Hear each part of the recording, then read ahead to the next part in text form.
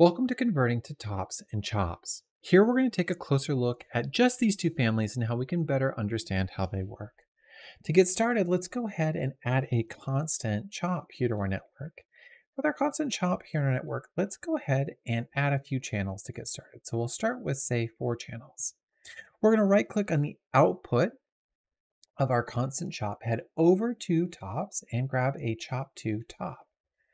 Now in our chop to top, let's make that viewer active and also turn on our, our display pixel values. This will make it easier to see the changes that we're uh, making here. So as we make changes to our channel values, we can see how that updates a pixel with the corresponding value. Now in this particular configuration, and I'll point out that here our data format is set to R, we have a single row of pixels for every channel. And this is important because we might also think about how we want to combine multiple channels to describe a single pixel. So for example, if we did RG, we'd see here that we have two channels that make up a single pixel. So we might have our first pixel as red here, so red 1, green 0. And if we make our second pixel green, we could think of red as 0 and green as 1. Now, we might also think about how we could use multiple channels uh, beyond just two to describe what's inside of a pixel. And in fact, if we were to do something like, let's do something like this where we have RGB and let's come over to our chop 2 and we can change this to RGB.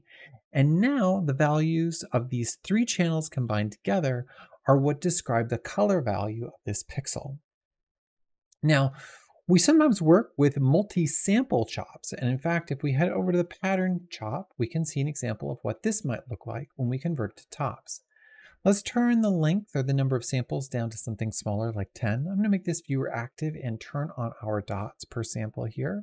I'm going to right click on the output, head over to tops and grab a chop to top. In my chop to top, I'm to make that viewer active. I'm going to turn on my pixel value so it's easier for me to see what's happening here. And right away, let's go ahead and make one other change. So we might notice our pattern has both positive and negative values, and it's difficult to see pixels that have a negative value. So let's go ahead and change our from range to be negative 1 to 1 is in the range of 0 to 1. And this makes it easier for us to see the kind of sine wave of values as it's converted. In this case, we can see that for each sample, we're going to uh, end up with a new pixel. Now, we might also want to combine multiple channels when we're thinking about our conversion to pixels. So let's head over to channels and let's add a second channel here.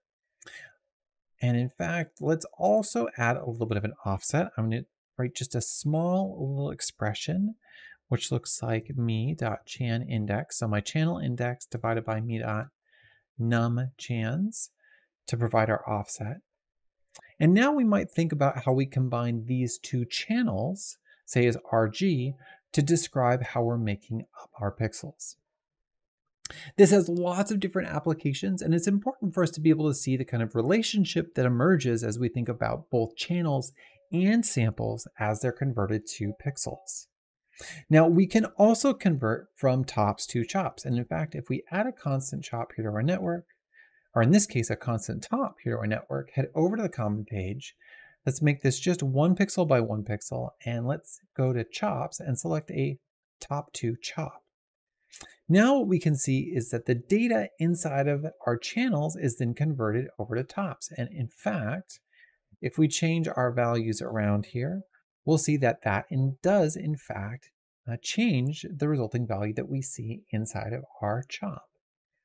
Now, it would be great if we only worked with single pixels at a time, but in many cases, we work with many more pixels than that.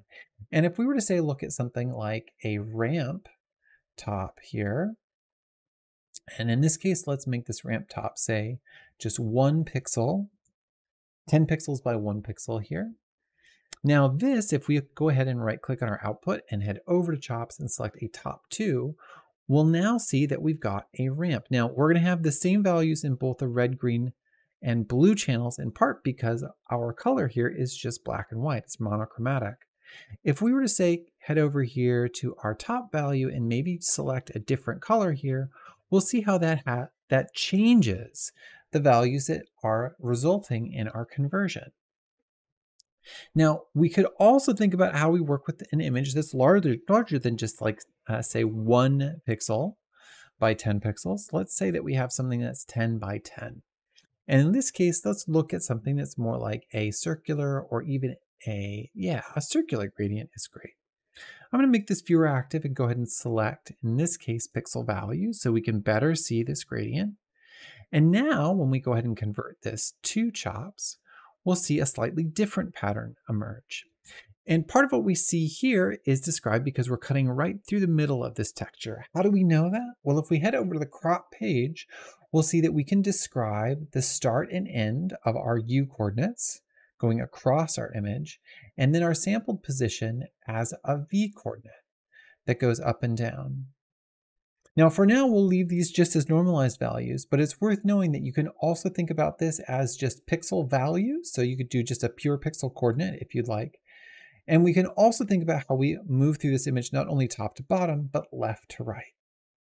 The last thing we'll look at here as we think about how we convert between these families is what happens if we want to have all of our pixels represented just in, say, four channels. What we might do in that case is we change our crop to be full image, and in this case, we're going to have RGBA. We'll have four channels per row that's inside of our texture. Uh, and we can see that repeat, right? So here's zero, uh, R0 through A0 is going to represent the first row of pixels. R1 through A1 is the second row of pixels. And in fact, if we turn on the dots, we can even see how our dots per sample helps us understand how that corresponds directly to being a single pixel inside of our texture operator. But typically what we want to do in this particular scenario is we want to output a single channel. And when we turn on this parameter output as single channel set, this will let us see all of these values stacked one right after the other, which is a better representation of how we typically want to think about converting from tops to chops. Now, when it comes to converting to chops, we might also think about how we move from tables to chops. So let's take a look at how we might do that. So starting with a table dat here, let's go ahead and do uh, make a few changes. So I'm going to add a another column here. So apples and 10. Now, if we right click on the output of our table here and head over to chops, we can convert this with a dat2, and we'll see how the first item, our first row, our first cell, is converted as the name, and 100 is converted as, say, the value. So this is the number that we end up with. And in fact, if we add another row here, we might call this kiwi, and or kiwis, plural here, and we have 20 kiwis, and we can see how that also converts into a value that's represented as another channel whose name is the first row. Now, if we right click on our table here and add another column, let's go ahead and say this is 10 and 5, or maybe 10 and 50. We'll see in our conversion that we end up with a second sample. So in this case, we'll get a, uh, a sample for the number of columns minus one. So we'll, our labels doesn't count as a sample. And so we can continue to think about how we add additional data here. Now, this is really powerful because it's a fast way for us to think about how we can convert data between tables and channel operators. Now, not all of your data is arranged like this. And in fact, if we use a transpose dat here, we'll see that in many cases, our data might be arranged in a format like this, where we have column headers. So let's go ahead and right click on our output, head over to DAT2 and take a look at how we might convert our data if it looks like this.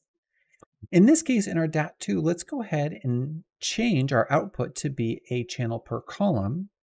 Let's use our first row to be described as names and our first column to be described as values.